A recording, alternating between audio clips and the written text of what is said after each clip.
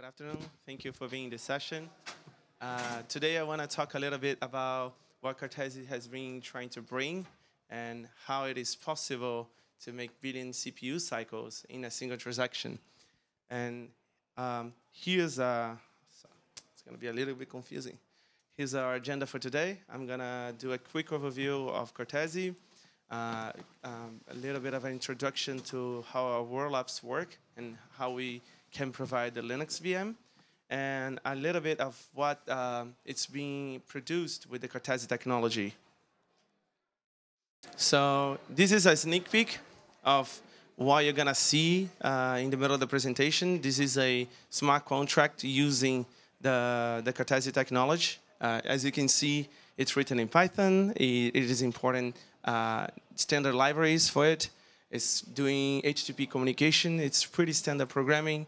Nothing really too fancy. It's nothing really too blockchain related at first time, at first look. So, Cartesi, right? I don't need to sell you guys on the trilemma and how Ethereum is really good at the security and the centralization piece of it and what comes with it, the limitations as well, because everyone here is trying to overcome this, right? And at the same time, I don't need to introduce to you the limitations that come with the EVM ecosystem. So it's really cool, but at the same time, we don't use the old tools that the software industry have been developing for so long. So the idea is, what if we could go back and have all this knowledge, all this aggregated uh, shared knowledge and complex computations with the security guarantees of a blockchain and good tooling, so the solution is two piece, and thank God you're the audience because I don't need to explain to you what is an application specific. So the idea here is you have your own rollup per dApp, and that means that you can have a layer N deployment. So you can deploy your application on top of Ethereum, Optimism, other solutions that are rollup and EVM compatible as well, or even have your sovereign rollup um, if you wish to do so. But at the same time, we don't limit ourselves to be just an EVM. Uh, the, at the core of the Cartesi node, we have a RISC-V implementation, which is a platform processor, but open source. And that means that you can run an OS on it. And we are using the Linux one. So the EVM tooling, like I was saying, uh, it's quite simple, quite simplified. Even to the extent that it helps to secure it, right? But at the same time, you gotta make do with whatever is offered. Uh, and it really hinders your ability to scale the content of your application. But with the Linux VM, you can have everything that you had before. So it's basically like you are having the whole toolbox available again. And to build a Cartesi app is really to build a Docker image so you're gonna start from, sorry, you're gonna start from the, you're gonna start from the RISC-V uh, uh, image, and you're gonna build and add your custom code. You're gonna start SQL uh, databases if you wish to do so, uh, import any framework that you wish, and build a Docker image. That's gonna be integrated to Cartesi node, um, and that will be enough to be a dApp. So it really feels like you have this, right? So you go back to being able to use your preferred languages, uh, your libraries, your, even that one-star repo that you just found and apparently it just solves your problem. So here is a, a comparison side by side being very generous to the EVM. So especially, more specifically, even uh, to the Ethereum uh, EVM. So you can have up to 30 million gas. It's not supposed to, but you can. And the smallest instruction that can do anything uh, on Ethereum is like add or subtraction. So three gas, that's what it costs. So roughly you can tell like uh, you can do 10 million instructions um, on a single block. Um, and here we have the Linux being booted on the Cartesi machine. And it only took 36 million instruction cycles. So you're never gonna build, uh, boot Linux on Ethereum on a single block at least. It's really counterproductive. Makes no sense, right? But here it is, uh, Cartesi limited to 13 seconds just to have a uh, comparison basis um, with the block size of the Ethereum, so 13 seconds per, per block, right? And in 13 seconds, you can have 3.6 billion instructions being run on this node. So it really is a totally different class of application here. And as a human, we have a difficulty to understand the difference, right? So this is what Cartesi can do, and that single square, square over there is what Ethereum is being producing, has been producing in a single block. It's really totally, totally different scale. So the Cartesi rollups, right? Here's a quick overview of the architecture, uh, quite simplified, honestly. Uh, the idea here is just to show how the components interact. Uh, for people who are not too used with uh, used to application specific, sometimes they have uh, this wrong notion that you have a network out there. So what it looks like is really you're still going to have JSON RPC connections have, uh, communicating with Ethereum, for instance, for data availability, and then that information is going to be uh, digested by the A Cartesi node as many as your application have. And then this information is going to be parsed, uh, delivered by a HTTP interface that um, abstracts away the complexities of it, and we're going to see that on the code, and which is this. Then this is your custom DApp backend. You can write it as however as you wish. It can be microservices, it can be a monolith, it can be using other applications inside as well. You have access to everything that OS provides you, right? You can create files, anyways. And that produces outputs. And these outputs can create interactions with the blockchain itself directly, or you can just output this information on the front end again. So it's really not that mysterious. And here's the thing, talk is cheap, right? So onto the code. So to that, to that side over there, we have a simple client API just to encode and sign transactions to Ethereum. It's something that we created just to facilitate the interaction to the first-time developer with Cartesi Tech. And we are using Hardhat. It's nothing fancy. You can kind of tell just by the way we are using it. And here's a Echo application. It's a basic hello world for displaying the code for you. And you're gonna see that we created a notice with the same payload as we sent it. And a notice is just a Ethereum event with a Merkle proof to it. So it's a provable event that happened on the rollup. To the side, you're gonna see that we start on the line fourth, uh, the fourth line, I mean, uh, interacting with a HTTP API that is present on the machine. That's the one I was talking about before. And the only thing that you need to do as a developer is just read one page of the documentation to understand all the endpoints, which are three. The four, sorry, uh, to create reports, notices, and new transactions, which we call vouchers. And the other one, where you digest new information. That's where the inputs come from. So as long as you parse these new uh, incoming messages, here's the response. You can see that we decode the JSON. It's a request and you have top, two top levels of, ty of types of request. So inspect state is equivalent to Ethereum calls, meaning uh, we are making easy for your code to understand that whatever you do there is going to be reverted back. So it's not committed. It does not change the state of the machine. And the second one is the common one that we are so used on Ethereum Solidity, which is that the advanced state. And to create a Merkle proof, you need to advance state, right? You need to change the state of the machine itself. So for instance, you only are able to create a notice from that one. If you try to create a notice on an inspect, you're gonna query the node later, it's not gonna be there. It's really uh, managed by this, you can think of it like a hypervisor.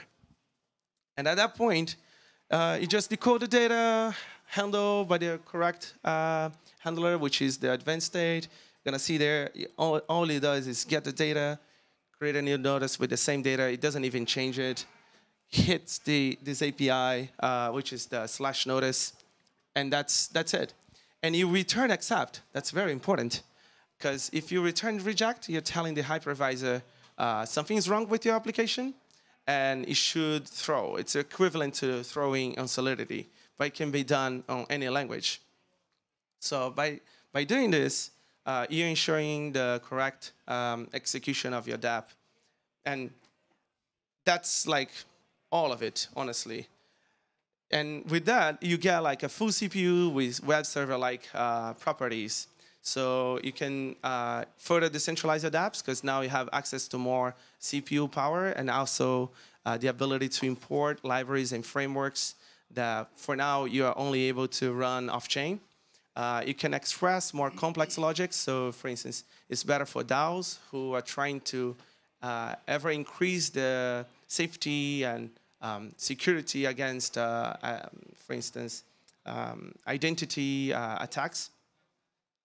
And uh, you can leverage all the stacks there we, you already know. So let's see the epochs. These are some of the applications we've been seeing being built using Cartesi. So the first one actually happened quite recently, uh, ETH uh, Lisbon. This was one of the um, people that won the track um, on the hackathon, and they created this project called ChainGPT, which was their idea of importing LLM to the blockchain. So you have uh, accountability for the execution and the outputs. That person was concerned with manipulation by big corporations and the effects of, of it on society. So for instance, we know kids right now are using ChatGPT to uh, learn about things. And suddenly they can query like, uh, what is a good liquid? What is a good hydrating liquid or something? And maybe the answer is Coca-Cola. So of course, that's not cool. So it's good for you to have the proof of that execution. It's verifiable that that was an output. So from there, you can start a process of um, ver uh, verification where was what did things go wrong? Where did the companies manipulated the model to have that kind of output? And but the cool thing is, it's an LLM running verifiably, and it can output information back to the blockchain itself, not being really an oracle. Then we have this other one, which is cool as well, which is computer vision on chain. So the project itself was about a, a clock in, clock out system to that so they ensure that government officials are not trying to manipulate their time, they're not taking vacations in the middle of the week, or they're not being laid often. And what he does is two things. First, he created a machine learning model um, where he can verify whether or not the image is being spoofed. So the same image over and over again, or maybe a silicon finger. But at the same time, using OpenCV was really quick to identify whether or not that is the identity of a certain person. And that wouldn't be possible before because OpenCV is huge, uh, and trying to port that to Solidity is like madness. You wouldn't do that. So here we have like uh, the uh, Rollup Lab is a community uh, sourcing site for projects using uh, Cartesi. You can check and see all other kinds of examples, so games, DAOs, uh, DeFi uh, applications that use Cartesi right now. Um, most of them are hackathon projects, but there's still some being developed as an actual project. And this week, we're going to have like ETHGlobal Paris. And there we are, on, we are on a track as well, so people can try to hack with us. There's going to be prizes um, available. And finally, one small announcement, which is the Honeypot DApp. So we are launching on mainnet uh, this dApp because, of course, it's application specific, right? So we need to have a dApp to showcase that we are mainnet ready.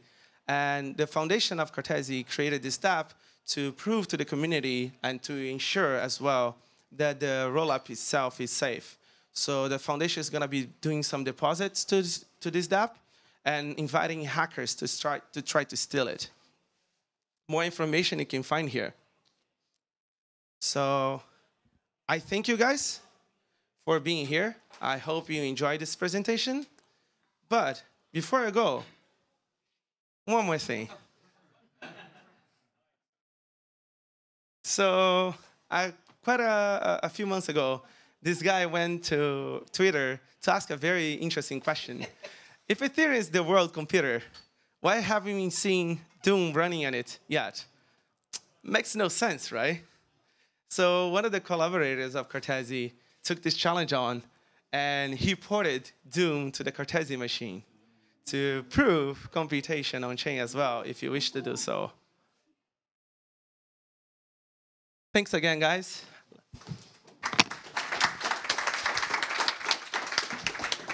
Thank you, Gabriel. Uh, do we have any questions? There we go. It's about this Doom example. How much do I need to pay to, to play it for minutes or, or hours?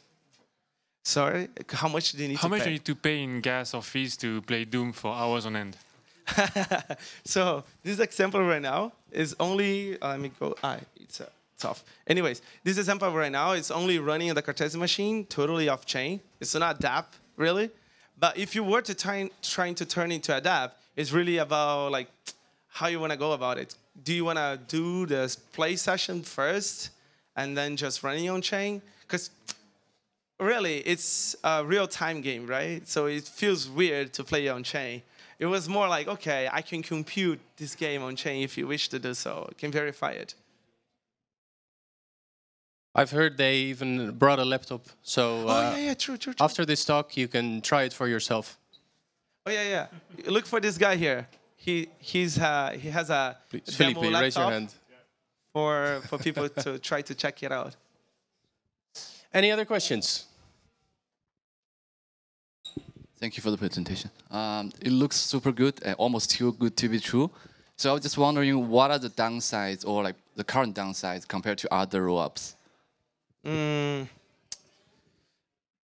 I'd say they're kind of ecosystem related. So even though these projects sometimes they can be adversarial to some extent, they kind of like are complementary to each other.